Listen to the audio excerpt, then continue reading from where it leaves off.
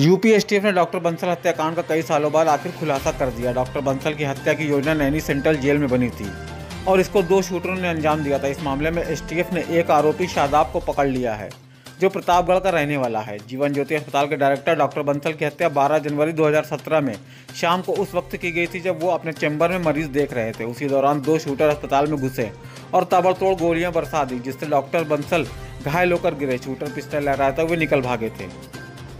आज करीब सात बजे डॉक्टर श्री ए के बंसल साहब पर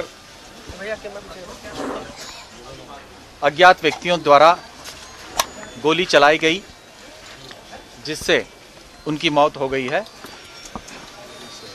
इस घटना का अनावरण के लिए हमने चार टीमों का गठन कर लिया है। डॉक्टर बंसल की हत्या अचानक नहीं की गई, बल्कि इस हत्याकांड की योजना नैनी जेल में बनी। दरअसल डॉक्टर बंसल ने अपने बेटे के एडमिशन के लिए 55 लाख रुपए आलोक सिन्हा नामक शख्स को दिया था, लेकिन आलोक सिन्हा ने वो पैसा गबन कर लिया, जिस पर डॉक्टर बंसल ने उसके खिलाफ मुकदमा दर्ज कराकर उसको जेल भिजवा दिया था। नैनी की जिस जेल में आलोक सिन्हा को रखा गया था, उसी बैरक में दिलीप मिश्रा, अख्तर कटरा, अतीक अहमद का शूटर तोता और गुलाम रसूल भी मौजूद थे। आलोक ने सबके सामने कहा कि डॉक्टर बंसल की हत्या करवानी है। तब अख्तर कटरा ने अबरार मुल्ला के माध्यम से शूटर मकसूद उर्फ़ जैद यासिर और शादाब को इस वारदात के लिए हायर किया।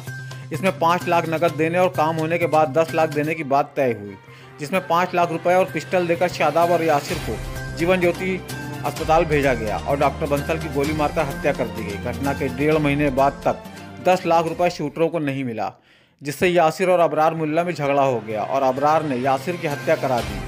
शादाब को जब पता चला कि वारदात की सीसीटीवी फुटेज में उसकी शक्ल आ गई तो वो एक पुराने मामले में जेल गया और फिर मुंबई में छुप गया। लखनऊ एसटीएफ की टीम और प्रयागराज एसटीएफ की यूनिट ने शादाब पर बारीकी से नज़र रखी और उसे लखनऊ के चिन्हट इलाके से पकड़ लिया।